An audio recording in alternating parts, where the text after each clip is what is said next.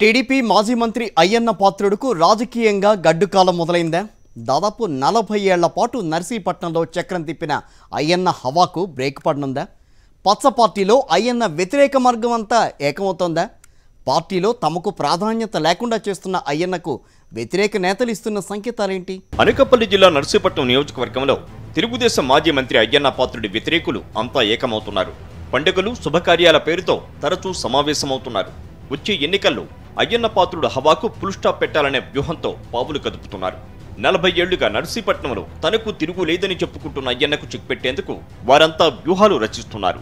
అయ్యన్న అవసరానికి తమను వాడుకొని అవసరం తీరాక చంద్రబాబు తరహాలోనే కరివేపాకు మాదిరిగా పక్కన పెట్టేశాడని మండిపడుతున్నారు. తమ కుటుంబ సభ్యుల కోసం తమకు రాజకీయ భవిష్యత్తు లేకుండా చేస్తున్నారని ఇప్పటి వరకు ఆయన వెన్నంటి ఉన్న నేతలు తీవ్ర అసంతృప్తి వ్యక్తం చేస్తున్నారు. గతంలో అయ్యన్న గెలుపు కోసం బోలింగ్ కుటుంబీకులు వృత్తుల ఎర్రపాత్రుడు కీలకంగా పనిచేసేవారు. ఇప్పుడు వారిని అయ్యన్న తొక్కిపెడుతున్నారు వెలమ సామాజిక వర్గానికి చెందిన ముత్యాల పాప ఎర్రపాత్రుడు వచ్చే ఎన్నికల్లో నర్సీపట్నం నుంచి ఎమ్మెల్యే సీటు ఆశిస్తున్నారు. రానున్న రోజుల్లో వీరు ఇద్దరు తనకు తన కుటుంబ సభ్యుల రాజకీయ భవిష్యత్తుకు అడ్డు తగులుతారని భావించిన అయ్యన్న వారికి టీడీపీలో ప్రాధాన్యత లేకుండా చేస్తున్నారు. పార్టీ కార్యక్రమాలకు సైతం వారిని పిలవకుండా అవమానిస్తున్నారు. అయ్యన్న తన కుమారులను రాజకీయ వారసులుగా తెరపైకి తేవాలని తీవ్రంగా ప్రయత్నిస్తున్నారు. అయ్యన్న పాత్రుడు తన కుమారులను రాజకీయ వారసులుగా తీసుకొస్తే తమ పరిస్థితి ఏంటని ముత్యాల పాప వృత్తుల ఎర్ర పాత్రుడు టీడీపీ అధిష్టానాన్ని ప్రశ్నిస్తున్నారు. తాము కూడా ప్రతి ఎన్నికల్లోనూ అయ్యన్న గెలుపు కోసం కృషి చేశామని ఎప్పుడూ అయ్యన్న కుటుంబమే పదవులు అనుభవిస్తే తమకు అవకాశం ఎప్పుడిస్తారని వారు నిలదీస్తున్నారు.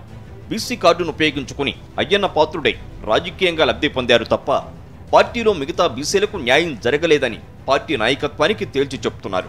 ఉత్తరాంధ్రలో టీడీపీ తరపున నర్సీపట్నం నుంచి గెలిచిన ఒకే ఒక మహిళా జడ్పీటీసీ రమణమ్మకు కనీస గౌరవం ఇవ్వకుండా అవమానిస్తున్నారని కూడా విమర్శలు వినిపిస్తున్నాయి.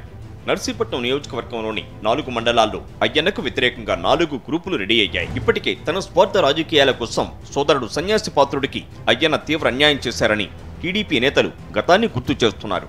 అయ్యన్నపై గుర్రుగా ఉన్న వ్యతిరేక వర్గీయులు అందరూ మహానాడుకు వెళ్ళకుండా తమ అసంతృప్తిని తెలియజేశారు నాలుగేళ్ళుగా అయ్యన్న పాత్రుడితో అంటీ ముట్టనట్లే వ్యవహరిస్తున్నారు.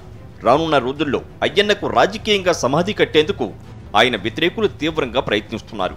సందర్భం వచ్చిన ప్రతిసారి వీరంతా రహస్యంగా ఒకచోట సమావేశమవుతున్నారు. పైగా అయ్యన్న రాజకీయ ప్రత్యర్థులైన గంటా శ్రీనివాసరావు బండారు సత్యనారాయణ మూర్తితో కూడా సమాలోచనలు చేస్తున్నారు. స్థానిక వైఎస్ఆర్ కాంగ్రెస్ పార్టీ ఎమ్మెల్యే ఉమాశంకర్ గణేష్ అన్ని వర్గాల ప్రజలను కలుపుకొని జగన్ ప్రభుత్వం అందిస్తున్న సంక్షేమ కార్యక్రమాలను ప్రతి గడపకు అందేలా చేస్తుంటే అయ్యన్న మాత్రం గ్రూపు రాజకీయాలతో పార్టీని భ్రష్టు పట్టిస్తున్నారని ఆయన వ్యతిరేకులు విమర్శిస్తున్నారు.